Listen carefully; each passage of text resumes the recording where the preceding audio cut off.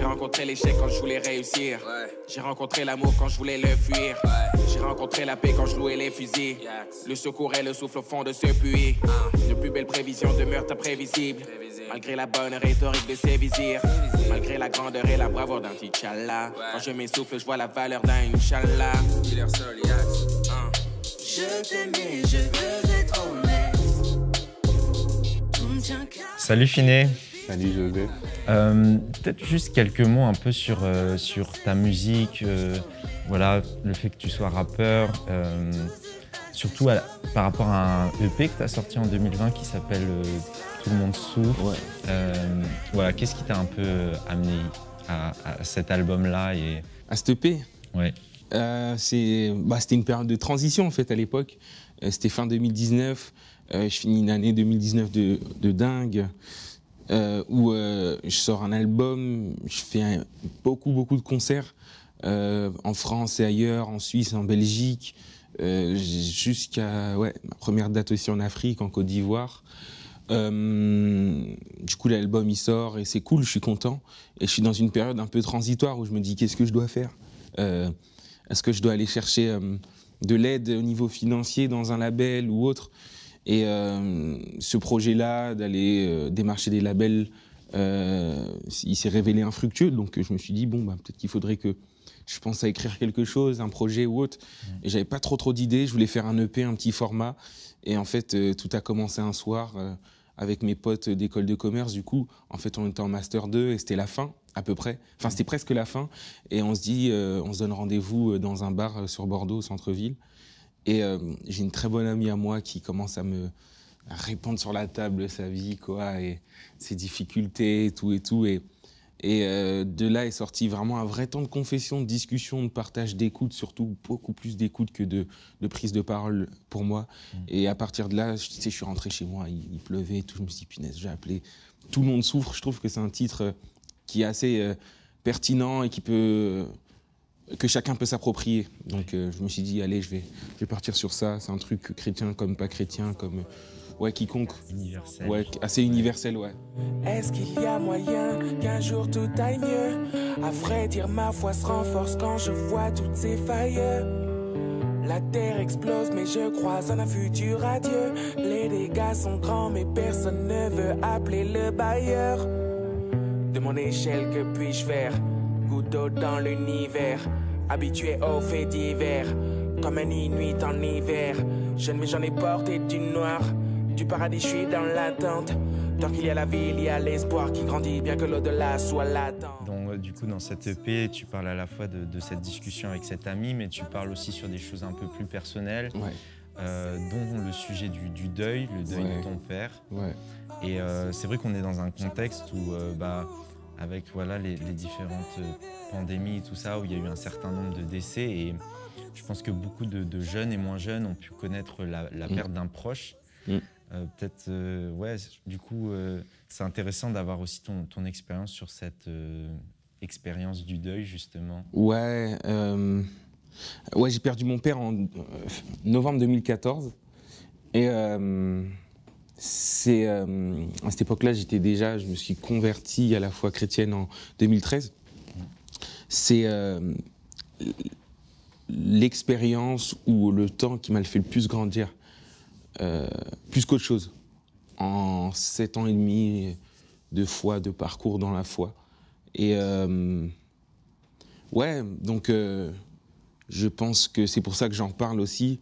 C'est pour ça que je- j'essaie de le témoigner, de, de l'attester le plus possible dans la musique, d'en parler, parce que ça a été euh, quelque chose de très difficile. Tu perds tes repères quand même, et, et, et j'en souffre encore aujourd'hui, quoi. Parce que dans chaque nouveau épisode de ma vie, ben, je me retrouve. euh, euh, je pense que quand tu es adulte, c'est là où tu te dis, quoi, j'ai peut-être besoin de mon père pour m'accompagner dans telle et telle étape de ma vie. Donc ouais, euh, et c'est pour ça que j'en parle aussi. Mais je pense qu'il y a des aspects positifs de croissance et d'espérance, euh, notamment que j'ai pu vivre euh, au, au travers du, du- du décès de mon père. Il a laissé, euh, comme on dit en, en anglais, un, un legacy, un héritage de, de, de foi de dingue sur lequel euh, euh, je, veux prendre exemple. Et, euh, et ça m'accompagne, ça m'aide de fou, quoi. Donc euh, voilà, c'est pour ça que j'en parle, parce que c'est vrai que tout le monde souffre, et moi le premier, et euh, de par l'espérance chrétienne qui anime euh, mon être intérieur, eh ben, je crois qu'il y a un espoir, je crois qu'il y a une espérance, et je crois qu'il y a une signification à la souffrance, en fait. Il y a une signification, il y a une réponse, une réponse divine, une, réponse qui, qui, qui dépasse notre vue, qui dépasse notre entendement, quoi. De ce que tu dis, j'ai l'impression qu'il y a presque quelque part une, une démarche thérapeutique, un peu de- d'en parler et de, de- ouais, d'en parler dans ta musique. Euh, Est-ce que peut-être c'est quelque chose qui, je, euh, enfin, je sais pas si tu es d'accord avec moi, mais je dirais que le deuil c'est quelque chose qui, qui est difficile à expliquer, le pourquoi, le comment, c'est voilà, c'est quelque chose de, de- c'est presque un mystère, c'est le mystère de la souffrance plus largement. Et euh, voilà, peut-être, voilà, au-delà de l'expliquer, qu'est-ce qu'on qu'est-ce qu'on peut en faire et comment on peut le, le rendre euh, créateur. Et j'ai l'impression que c'est ce qui se dégage aussi de ton parcours-là. Ouais, après, il n'y a pas de. Tu sais, je pourrais pas te faire des. euh, des les dix- 12 clés Les, les pour- 12 clés pour euh, sortir du deuil. Je pense que vraiment, ce qui est dur dans le deuil, c'est déjà de réaliser et c'est de, de vivre le jour 1. Ouais. Et le reste, super dur. Mm. Parce que je pense que quand tu vis ça, je l'ai vécu deux fois. hein. J'ai perdu mon frère, j'ai perdu mon père. Mm. Euh, tu t'as vite envie d'être à plus deux ans Mm. quand c'est passé ou quand tu te sens à peu près Mm. guéri. Or, c'est un processus qui dure longtemps, peut-être toute une vie, parce que tu, tu perds des êtres quand même qui sont très chers et Mm. avec qui tu étais à côté. C'est traumatisant, je pense. Mm. Et euh, ouais, il y a quelque chose de, de positif, je pense. Après, il y a des gens qui s'en remettent jamais, malheureusement. Je connais une personne, euh, euh, notamment, tu sais, j'étais ado, je jouais dans un club de foot et je connais une mère, la mère de, de mon, de mon coéquipier, il était gardien de but, Mhm. qui a perdu son, bah, son fils et elle s'en est jamais vraiment remis, tu vois, remise encore aujourd'hui. Mais, euh, mais ouais, je- malgré tout, je crois vraiment qu'il y a, il y a- il y a- on peut en, guérir, en sortir du bon, on peut grandir de ça. Et vraiment, moi, ma propre expérience, c'est vraiment c'est la foi qui m'a transformé, la foi en Jésus qui, qui, qui m'a reconstruit, qui me restaure jour après jour, tu vois. Donc, Mm. euh, donc c'est c'est de là que j'en ai ressorti quelque chose de positif, quoi. Ouais. Que j'en ai ressorti quelque chose de positif et que par l'épreuve par laquelle je suis passé, euh, je veux euh, attester qu'il y a une solution pour ceux qui passent par cette épreuve, notamment dans ce contexte compliqué du Covid-19 et toutes les pertes que ça a pu engendrer. euh. C'est vrai que dans la foi chrétienne, on, on a, je pense, un rapport au deuil particulier parce que euh, le récit des évangiles, c'est quand même un, un récit qui nous mène progressivement à un décès et ensuite à une résurrection et, Ouais. euh, et toute l'espérance que, que ce- le récit à la fois de la crucifixion de Jésus de la résurrection de Jésus incarne.